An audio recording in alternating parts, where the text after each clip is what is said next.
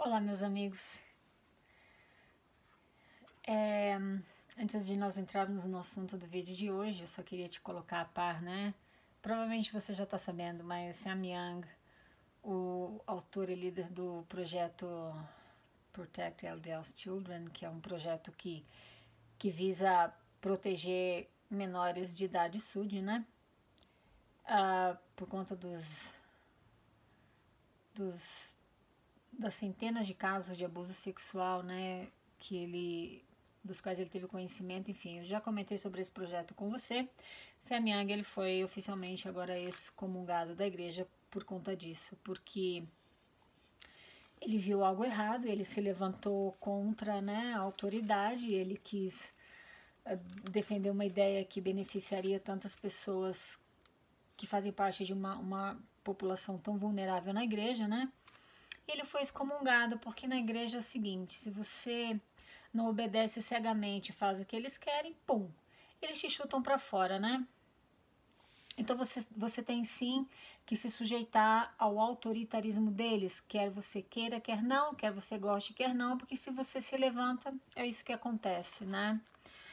Então, ah, por isso que eu particularmente decidi excomungar a igreja da minha vida quando eu pedi a minha resignação, que eu recebi oficialmente pelo site Quit Mormon em julho do ano passado, né? Então faz mais de um ano que eu recebi a minha, a minha resignação. Vou deixar o website na descrição do vídeo porque muitas pessoas me perguntam qual é a melhor forma de resignar e essa é a melhor forma que eu conheço. É um processo gratuito, tá? Mas como eu já falei anteriormente, não se sinta pressionado a fazer isso, tá bom? No meu caso, eu queria excomungar a igreja, porque eu tenho autonomia sobre a minha vida mais do que eles tinham. Então eles excomungam as pessoas desde os dias de Joseph, né? Qualquer pessoa que se levanta contra a autoridade, que desafia a autoridade deles, eles excomungam. Então tá tudo bem, né? Tá tudo bem. As pessoas, ah, coitado, né? Pois é, foi excomungado, que pena, né? Pois é, mas tá tudo bem se a igreja excomunga, né? A tua reputação, pum, vai lá pro chinelo. Então eu excomungo a igreja porque eu tenho direito de fazer isso, né? A vida é minha, né? Bom, tudo bem. Isso é muito pessoal, tá? Não se sinta pressionado não e uh, por conta da excomunhão de Sam Young, houve uma, está havendo uma onda de resignações aqui no estado de Utah. Tudo bem. Enquanto nós conversarmos sobre o que nós vamos conversar agora, eu sugiro que você tenha em mente a 12 regra de fé do mormonismo da Igreja Mormon Brigamenta, que diz o seguinte: Cremos na submissão a reis, presidentes, governadores e magistrados, na obediência, honra e manutenção da lei. Eu sugiro que você tenha isso em mente, porque para mim, como quando eu era mormon, eu, eu levava as regras de fé como assim literalmente, né, ao pé da letra. Eu acreditava nelas, então se eu tivesse essas informações que eu estou tendo agora, quando eu ainda era membro da igreja, eu não saberia o que fazer com as regras de fé. Na verdade, não só com essa, mas com a, a grande parte delas, tá? Realmente não faz sentido, não. Então, eles falam uma coisa e fazem outra e ninguém se dá conta disso. Eu gostaria de dar só uma pincelada para você hoje sobre a igreja mormon fundamentalista, conhecida como F, FLDS, né? Uh, eu já te falei que o, o mormonismo ele tem vários, tem centenas de ramificações. Uh, a igreja mormon fundamentalista, ela é aquela considerada segunda eu diria a segunda mais forte, a segunda ramificação mais forte, eu arriscaria dizer, uh, depois da Igreja Mormon Brigamita, tá? Bom, não tem como a gente falar da, da, Igreja Fundamentalista sem voltar de novo no assunto da poligamia por um momento, tá? As coisas que eu vou conversar uh, com você hoje, é, eu escutei basicamente de uma mormon fundamentalista independente. Vânia, o que, que é isso? Fundamentalista independente são pessoas que frequentam, frequentam a igreja brigamita, aquela que a gente tem aí no Brasil, né? Que é mais popular, pelo menos aí no Brasil. Porém, eles vivem a poligamia por debaixo dos panos, tá? É.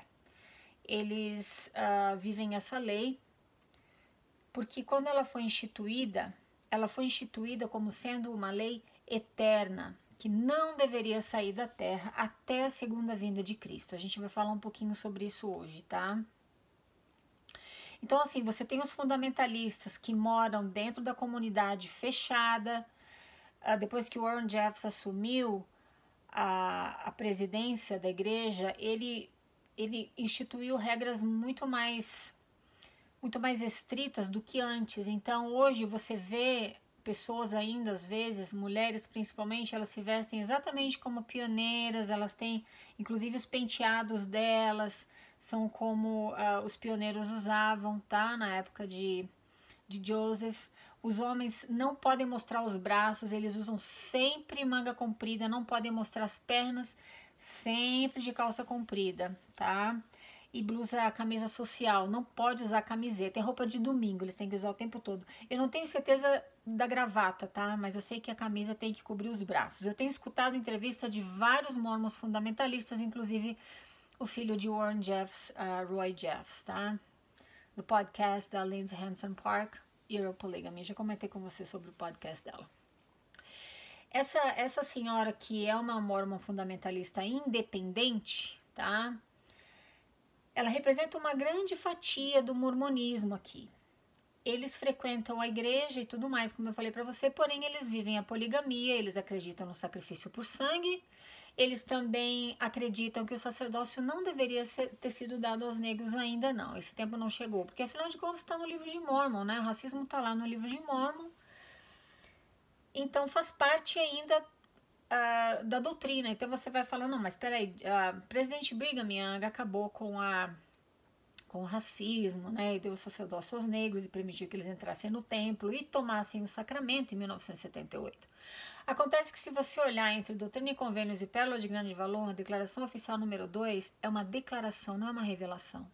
Aquele foi um documento que ele criou para mostrar para o governo que a Igreja Mormon estava acabando com a segregação racial, finalmente cedendo aos direitos humanos que estavam com força total. Já falamos sobre isso. A construção do Templo de São Paulo teve uma participação incrível, um peso incrível no fim da segregação racial na Igreja Mormon já falamos sobre isso. Mas só estou falando para você de novo, para você entender o porquê que os fundamentalistas ainda acreditam que os negros não deveriam ter recebido os privilégios dos brancos na igreja.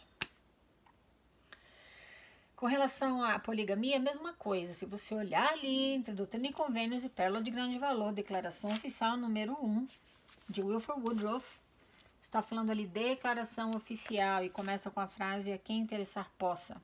Também foi uma, um documento que ele uh, escreveu para poder falar para o governo oficialmente que a igreja não estava mais praticando a poligamia, tá? Porque o que acontece é o seguinte, é... o governo começou a fazer mais pressão, tá? Em cima da igreja.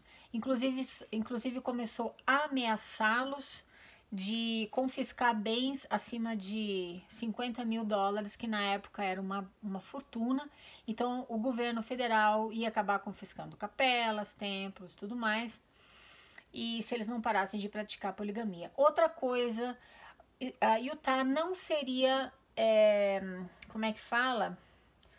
Não se tornaria um estado ainda se eles continuassem praticando. Então eles precisavam, olha só a sinuca de bico em que eles estavam.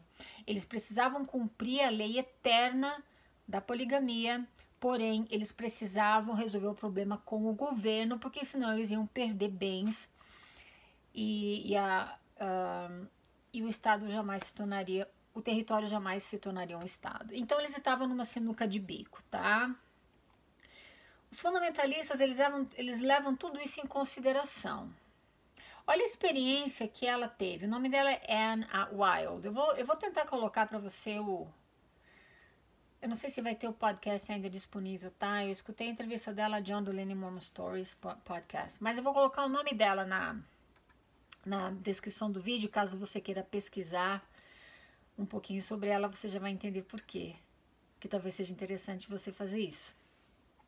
Ela foi nascida e criada na Igreja Mormon Brigamita. Foi para a Universidade de Brigham Young na, na década de 50.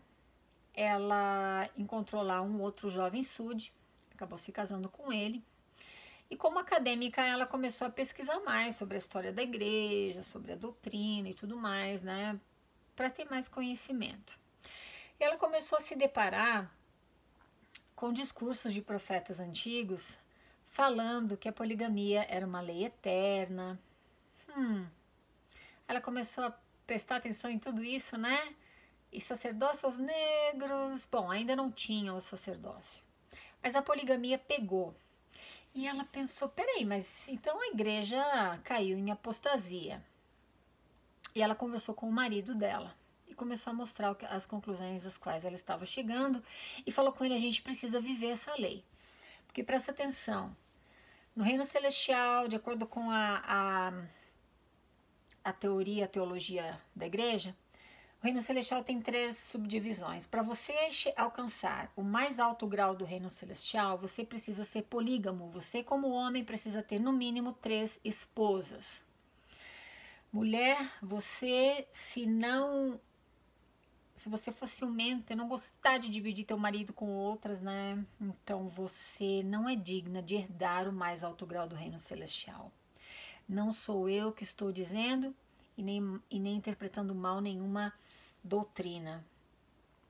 Dá uma estudada para você chegar às tuas próprias conclusões, tá? Bom, como o marido dela, de Anne Wild, não aceitou, ele falou: Não, eu não vou viver a poligamia, isso é loucura. Ela pediu o divórcio, é, porque afinal de contas você é ensinado na igreja que você precisa obedecer, guardar os mandamentos e tudo mais. Então, assim, eu lembro do presidente Kimball, por exemplo, ensinar que se um dos, uh, um dos dois no casal quebrasse os convênios que fizeram no templo, que então estaria justificado haver um divórcio, porque se o cônjuge queria ir para o inferno, ele que fosse para o inferno sozinho. Provavelmente, provavelmente ela tinha essa mentalidade também. Então ela pediu divórcio e falou: Não, eu vou viver uma lei maior porque eu quero ser exaltada no mais alto grau do reino celestial. E a igreja mormon, brigamita, ela caiu em apostasia. Isso não está certo, não. Ela se divorciou e se casou com uma outra, com outro mormon que vivia a poligamia como fundamentalista independente, tá? É estimado que aqui no estado de Utah de três a cinco casais nas alas pratiquem a poligamia em segredo. É. Eles não frequentam o templo porque eles não querem ser desonestos com Deus, mas eles estão esperando o dia em que eles vão ter esse privilégio. Então tá. Ela se casou com esse com esse homem que eu não me lembro, eu não me lembro o nome dele, ele já é falecido. Ela ainda é viva, tá? Mas ele é, ele e ela juntos escreveram 65 livros, é, 65 livros a respeito da história e da doutrina da igreja. Por isso que eu vou colocar o nome dela no, no como é que fala? Na descrição do vídeo, caso você queira digitar e, e descobrir quais são os livros, né? Você pode ficar à vontade, fica a teu critério, tá? É, eu volto já na sequência.